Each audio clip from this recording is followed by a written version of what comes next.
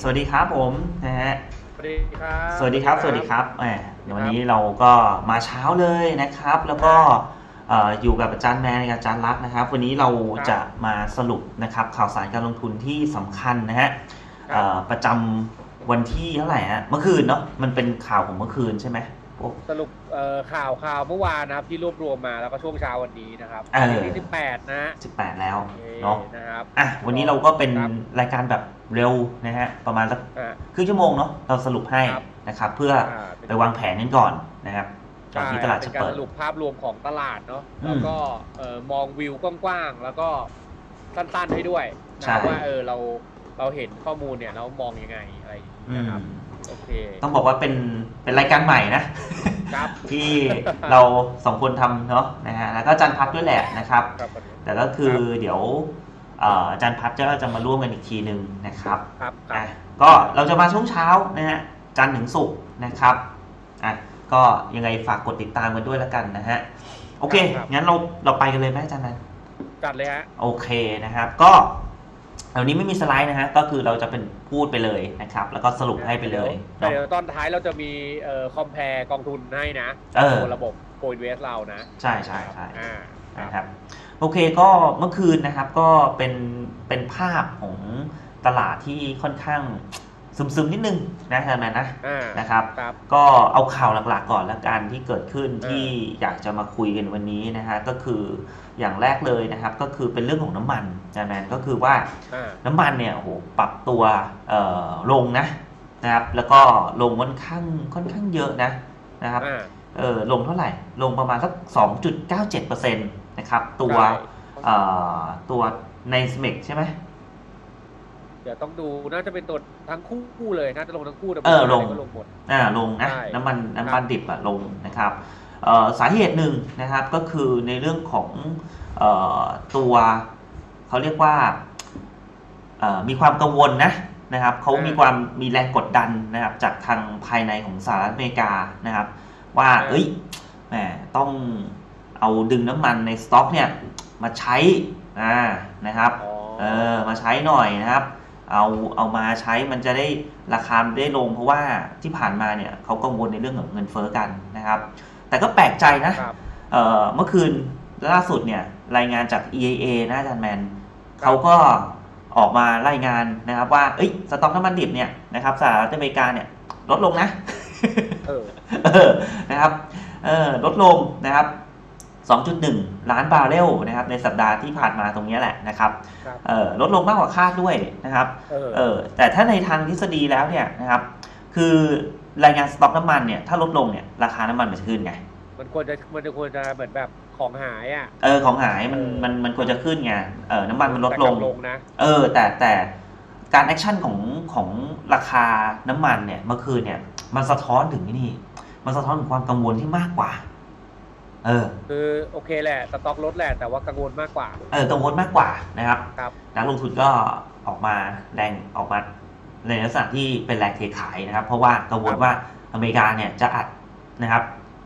ดึงสต็อกน้ำมันมาใช้ อืมเออเนาะก็เลยร่วงโหลดลงไปนะครับสำหรับตัวเอ่อน้ำมันเองนะฮะอืมอืมครับเอ่ออีกเรื่องหนึ่งนะครับ ที่เป็นข่าวอีกประเด็นสำคัญตัวเลขเศรษฐกิจนะครับ จริง ๆ อาทิตย์เออที่ผ่านมาโอ้โหตัวเลขเศรษฐกิจออกมาเพียบเลย นะครับออกมาเออเพียบเลยนะครับเอ่อเมื่อคืนก็มีอีกหนึ่งดัชนีนะครับ ก็คือเกี่ยวข้องกับการสร้างบ้านใหม่นะครับเนาะาหรือครับอาจจะมีเป็นพวกของใบอนุญาตการสร้างอะไรพวกเนี้ยนะครับอ่าฮะภาพรวมเนี่ยเอ่อตัวเลขออกมาน้อยกว่าคาดนะตัวเลขการสร้างบ้านใหม่นะครับเนาะอ่าเอ่อเขาคาดการณ์กันไว้ที่ 1.5เอ่อล้านยูนิตนะครับเนาะครับแต่ออกมา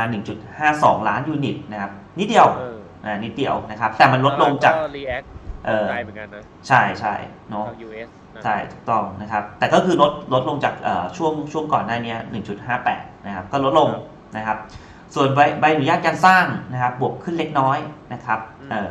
1.6 ล้านนะครับ ขึ้นมาเอ่อคาดการณ์ไว้ 1.3 นะครับ ดีกว่าคาดเนาะ ก็อืมเอ่อภาพรวมของตัวเลขการสร้างบ้านก็คือ ต้องบอกว่ายังไม่หวือหวา เออยังไม่โดดเด่น อืม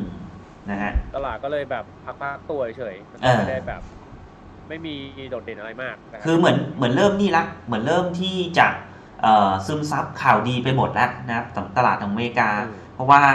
เอ่อพวกของผลประกอบการนะครับครับได้ออกมาโอ้โหน่าจะเกือบหมดแล้วนะเออนะครับมันดีหมดอะแต่ว่าใช่สุดท้ายก็กลายเป็นว่าตลาดก็ต้องรอปัจจัยใหม่ๆมาเล่นเหมือนกัอ่ารอละตอนนี้รอละอืมครับนะครับอะเดี๋ยวให้อาจารย์แมนรายงานดัชนีหลักๆหน่อยนะครับว่าใช่ครับเมื่อคืนนะครับ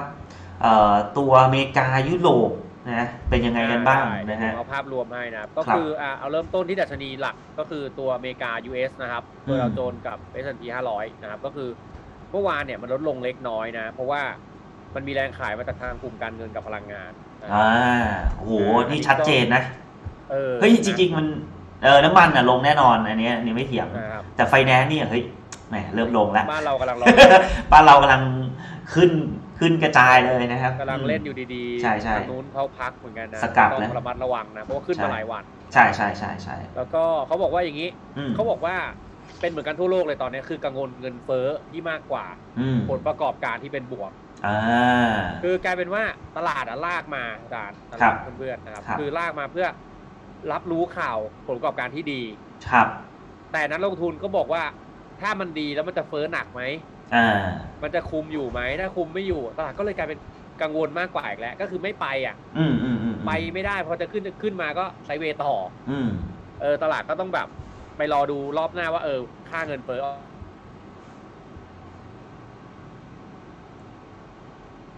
อะต้นทุนการก่อสร้างอะไรก็จะขึ้นอีกอืม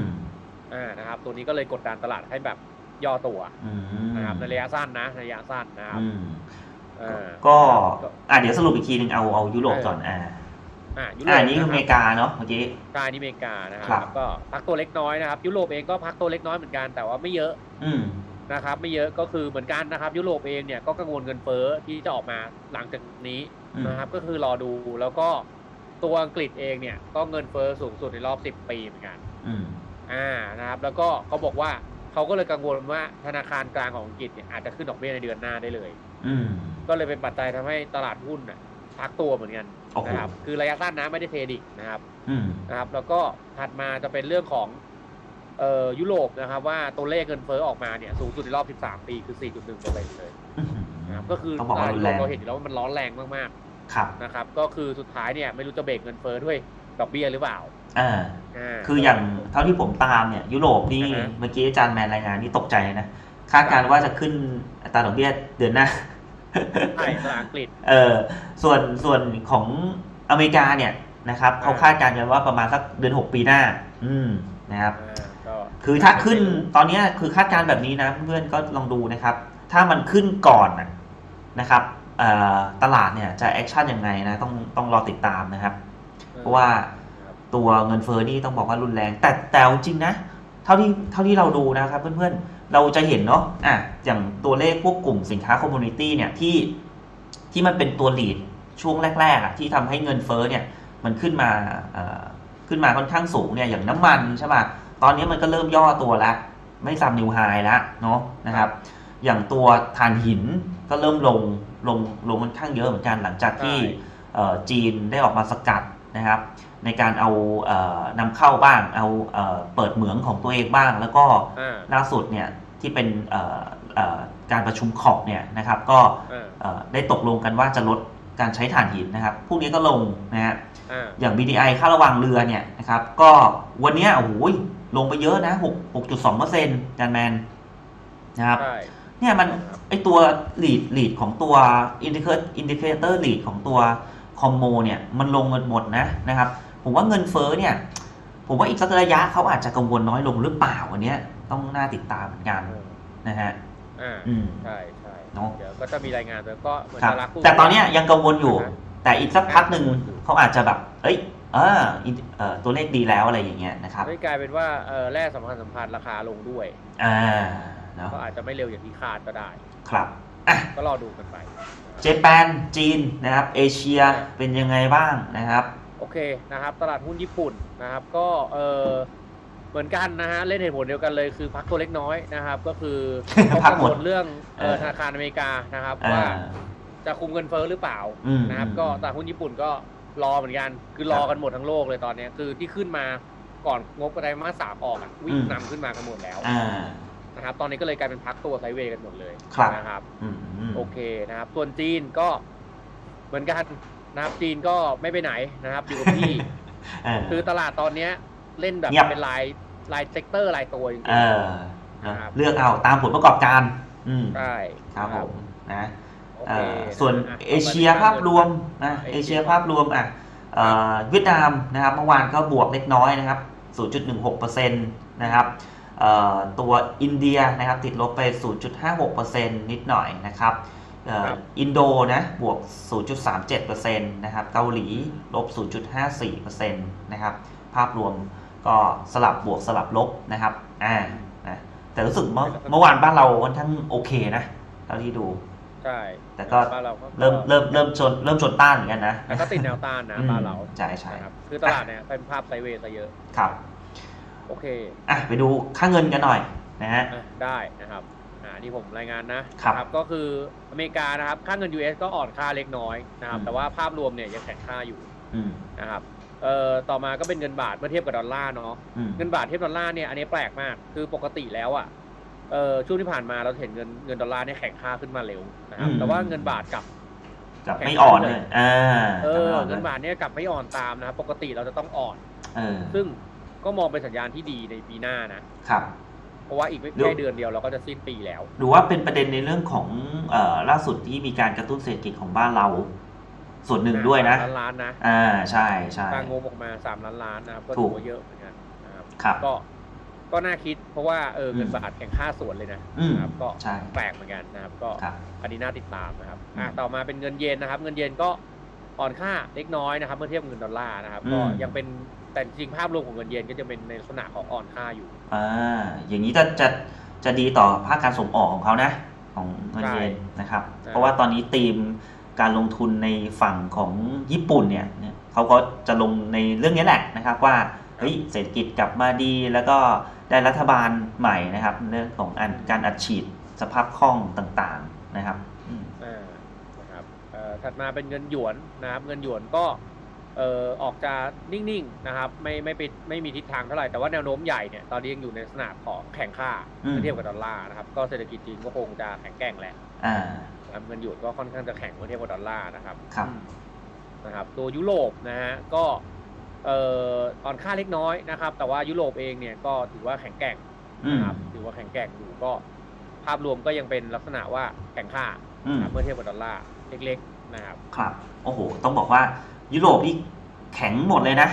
ตลาดหุ้นก็แข็งนะครับ ภาพรวมเนาะค่าเงินก็แข็งโอ้โหต้องบอกว่าเงินเนี่ย ไหลเข้าไปในยุโรป ค่อนข้างชัดเจนนะชั่วโมงนี้นะครับใช่อืมกองทุนที่ยุโรปนี่โอ้โห ก็ทำผลตอบแทนได้ดีนะครับอะครับมาดูไฮไลท์นะครับ ก็คือ commodity ตัวหนึ่งใช่ไหมอาจารย์แมนนะครับใช่เมื่อคืนอาจารย์แมนก็รายงานไปแล้วล่ะนะครับ ก็คือเรื่องของน้ำตาลนะครับครับเป็นสินค้าคอม soft commodity ที่พุ่งแรงที่สุดในช่วงนี้เลยนะครับ เมื่อคืนเนี่ยบวกขึ้นไปถึง2 2%นะครับสองเปอร์เซ็นต์แล้วกราฟเนี่ยอืมเบรกด้วย เบรกใช่ไหมเบรกไฮด้วยใช่ไหมเบรกไฮขึ้นไปอีโอ้กโหเพราะฉะนั้นเพื่อนๆที่ติดตามการลงทุนในตลาดหุ้นก็อาจจะเฝ้ามองกลุ่มน้ำตาลกันหน่อยละกันนะครับใช่ตามกันบ้านกันหน่อยแต่นะจฮะริงๆมันก็มีเหตุผลที่เราเคยคุยกันไปแล้วก็คือว่าในเรื่องของเอ่อสภาพอากาศอืมเนาะเป็นทางเอนิโยกับลานีนานะครับก็คืออมทางฝั่งอเมริกาใต้เนี่ยแห้งแล้งเนาะครับ ทางบราซิลเนี่ยค่อนข้างแห้งแล้งก็ทำให้อ้อยเนี่ยออกมาน้อยด้วยครับอ่านี่ก็คือเป็นเหตุผลหลักนะครับ ในภาพครับใหญ่เลยนะครับอืมเชิงเทคนิคก็มาด้วยนะฮะอืมต้องครับเนาะโอเคนะครับ ส่วนเรื่องของอันนี้ผมรายงานต่อเลยแล้วกันให้อาจารย์ลักษณ์ลุยต่อครับครับผมนะฮะเรามาลองเปรียบเทียบในฝั่งของตัว develop market นะครับ กับ emerging market เนอะว่าเออเราเงินเนี่ยมันไปทิศทางอย่างไรนะครับ เท่าที่ดูในการเปรียบเทียบนะเอ่อ ตัว develop market นะครับในช่วงเนี้ยนะครับต้องบอกว่าค่อนข้างแข็งนะอืมแข็งกว่าตัว emerging market นะครับในภาพรวมๆภาพใหญ่ ๆ ในลักษณะระดับระดับปีนะครับครับเอ่อแต่ส่วนส่วนภาพของระดับ day เนี่ยนะครับเอ่อเหมือนกันนะครับก็ image เอ่อ develop market จะดูแข็งกว่านะครับนำโดยยุโรปนะที่ค่อนข้างแข็งนะครับ ส่วน emerging market เนี่ยนะครับอย่างเมื่อคืนเนี่ยติดลบไป 0.37%นะครับอืม ส่วน develop market ลบนะ แต่ก็ลบน้อยกว่า ลบไปที่ 0.25%นะครับใช่อะก็ประมาณนี้นะฮะสำหรับตัว develop เอ่อเทียบกับตัว emerging market นะฮะใช่ครับโอเคแล้วก็มาดูในโครงสร้างเดี๋ยวเสริมนิดนึงนะอืมก็คือในโครงสร้างของภาพระยะกลางนะครับระดับ week มันเนี่ยครับ develop ก็แข็งแกร่งกว่าจริงๆนะครับอืม emerging เนี่ยยังยังพักตัวอยู่บนเส้นแนวต้านอ่าเส้นแนวรับเส้นแนวรับในตัวเทรนไลน์ที่เบรกขึ้นไปอ่านะครับครับก็ค่อนข้างชัดนะฮะครับ ส่วน growth and value นะครับอ่าเราจะได้ดูจัดสรรกันได้ถูกนะฮะว่าเงินเราควรจะไปอยู่ในกลุ่มไหนนะฮะเปรียบเทียบกันนะครับ เท่าที่ดูเนี่ยนะครับในระดับเดือนเนี่ยนะครับ ก็จะต้องบอกว่าเป็นเอ่อตัว growth นะโอ้โหอืมนะครับอันนี้เราอิงจากตัว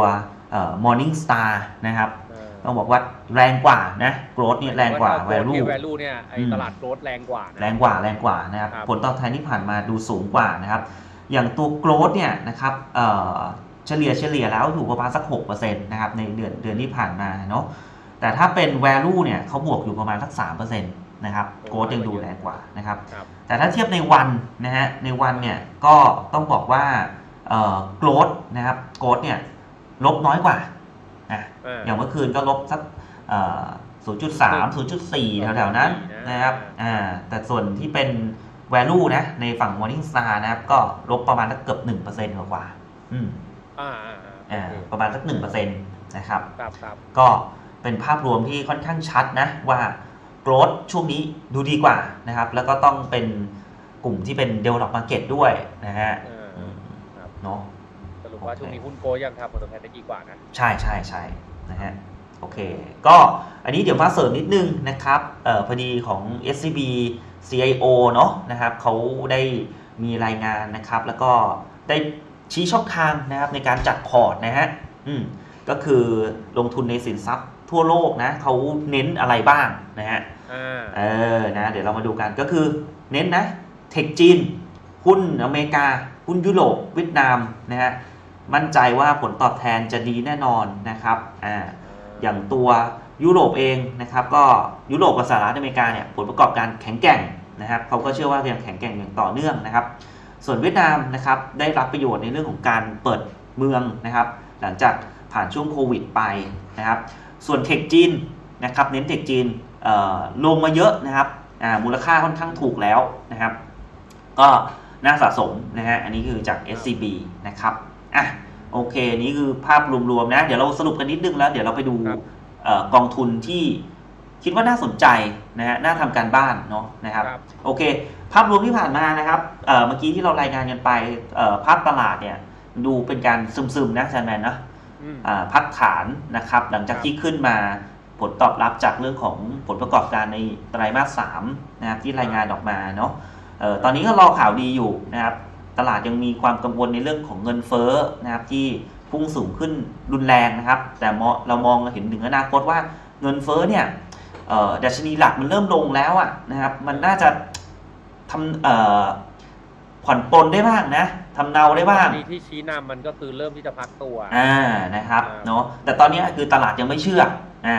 ตลาดยังไม่เชื่อเนาะนะครับอ่าตลาดขอรอดูอีกนิดนึงเออขอรอดูอีกนิดนึงนะครับครับอ่าว่ากันไปนะครับ คราวนี้อ่าเอ่อกองทุนนี้น่าสนใจนะครับอ่าเดี๋ยวให้อาจารย์แมน แชร์สไลด์แชร์นะครับได้ครับ ก็เราไม่เอ่ยคือในตลาดตอนนี้ต้องบอกว่าเห็นในเรื่องของ เอ่อเขาเรียกว่าอะไรอะเออเดี๋ยวก่อนนะ ขึ้นไหมครับผมคนขึ้นฮะ แต่อาจารย์แมนเป็นทำไมนะอ๋อโอเคโทษทีฮะอ่าโอเคได้แล้วครับอ่าอ่าได้ละได้ละนะครับอ่าอืมก็จะเป็นกลุ่มยุโรปนะที่โอ้โหเนี่ยอย่าง SCB เขาก็มองว่าอนาคตยังเติบโตอยู่ นะฮะผลประกอบการดีนะครับ แล้วก็ข่าวดีล่าสุดเนี่ยก็คือการประชุมครอปนะนะครับอืมเอ่อเทคโนโลยีต่างๆที่เราจะได้ใช้กันนะครับ ในกลุ่มที่เป็นพวกพลังงานทดแทนนะก็มาจากยุโรปกันเยอะนะครับใช่เออเนาะอะก็มาดูกันมี 3กองนะครับ ที่เรามาเปรียบเทียบกันให้อ่าเพื่อนๆได้ดูนะครับอะมีอะไรบ้างฮะอาจารย์แมนจัดเลยแรฮะกครับเป็นเอ่อ ABEG นะครับ แล้วก็ ASP EUG นะครับ แล้วก็ K ยุโรป นะครับมี 3 ตัวนะครับ ก็ถ้าเทียบกันจากชาร์ตเนี่ยในตัวโปรแกรมของ CoInvest เนาะก็เราจะเห็นเลยว่าเอ่อยุโรปเนี่ยวิ่งดีขึ้นมาจริงๆนะครับตั้งแต่ช่วงตุลาแล้วนะครับ แล้วก็ถ้าถ้าเทียบล่าสุดเนี่ยเราจะเห็นว่าหักหัวขึ้นหมดเลยนะครับ แต่ตัวที่แรงที่สุดอะน่าจะเป็น ASP EUD นะครับก็คือเบรกตรงไฮไฮก่อนหน้าด้วยนะครับ ตามชาร์ตนะนะครับอะก็เอ่อกองทุนนี้เนี่ยค่าความเสี่ยงเนี่ยก็เท่าเท่าๆกันนะครับหกระดับหกหมดเลยนะครับ ก็เอ่อนโยบายค่าเงินเนี่ยก็จะแตกต่างกันนะทั้ง 3 ตัวเลยนะอืมนะครับ ก็คือตัว A- ABG เนี่ยก็จะตามที่ผู้บริหารกองทุนนะครับเป็นคนพิจารณานะครับครับส่วน ASP EUG เนี่ยจะเป็นลักษณะว่าเอ่อทั้งหมดเลยป้องกันความเสี่ยงทั้งหมดเลยอืมเกือบทั้งหมดเลยโอ้นะครับค่อนข้าง safe ค่อนข้าง safeตัวตัวกลางเนี่ยจะ safe กว่านะครับ ASP EUG ค่อนข้าง safe กว่า แล้วก็ K ยุโรปเนี่ยเอ่อบางส่วนนะครับอืมอืมนะครับก็ถ้าถ้าพูดถึงว่าถ้าเทียบกับ การ hedging เนี่ยก็ตัว safe เนี่ยก็จะเป็น ASP ASP ตัวเสี่ยงนะตัวตัวที่เขาเรียกว่า เอ่อแล้วแต่ดุลพินิจเนี่ยก็จะเป็นตัว ABG ก็ดูเสี่ยงเยอะกว่าไหมเออใช่ใช่เออนะเพราะว่ามันขึ้นอยู่กับดุลพินิจนะครับอืมแต่แต่ทั้งสามกองเนี่ยจะเป็นธีมโกรดหมดเลยนะเพื่อนๆทั้งสามกองนี่เป็นสไตล์แบบเขาเลือกหุ้นโกรดมานะครับผู้จัดการกองทุนนะนะครับ แล้วก็เอ่อ ส่วนถ้าคุณอยากเห็นความแตกต่างนะครับ ก็อาจจะต้องเข้าไปดูในเอ่อตัว Fun Fact Sheet นะครับนะแล้วก็ตัวของ f i g u r e Fund นะครับ ยังไงแล้วเดี๋ยวเอ่อวันเนี้ยเวลาเราไม่พอนะครับ ก็อาจจะต้องขอเป็นวันเสาร์อาทิตย์นะครับ เดี๋ยวเราจะมา วิเคราะห์เจาะลึกกันนะครับในไส้ในเนาะนะครับก็เนี่ย feeder fund ทั้ง 3 ตัวเนี่ยเรายังไม่ได้เจาะข้างในนะ ใช่ใช่นะครับเดี๋ยวอาจารย์แมนรบกวนดูเป็นแบบรายตัวทั้ง 3 ตัวได้ไหมว่าตัว technical นะเออ technical ของเรานะครับ ตัวแต่ละตัวเนี่ยนะครับเป็นอ่าลักษณะยังไงบ้างนะครับ ภาพรวมนะฮะได้ครับเนาะเดี๋ยวเข้าทีละตัวเนาะครับอ้าวเราต้องเข้าหน้าหน้าแรกก่อนครับ อ่าได้เลยเซิร์ชตัวแรกเจอเลยครับมาแล้วนะครับ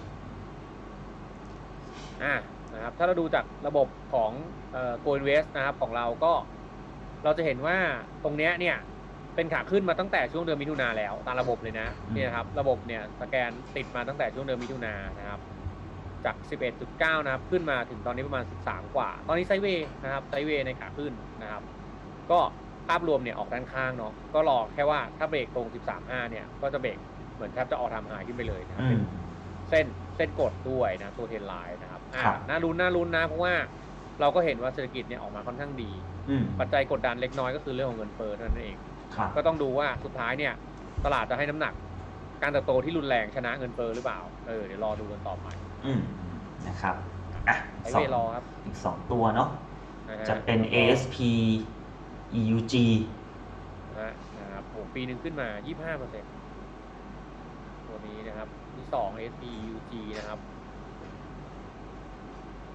ก็ปีหนึ่งขึ้นมา 19เปอร์เซ็นต์นะครับ แล้วก็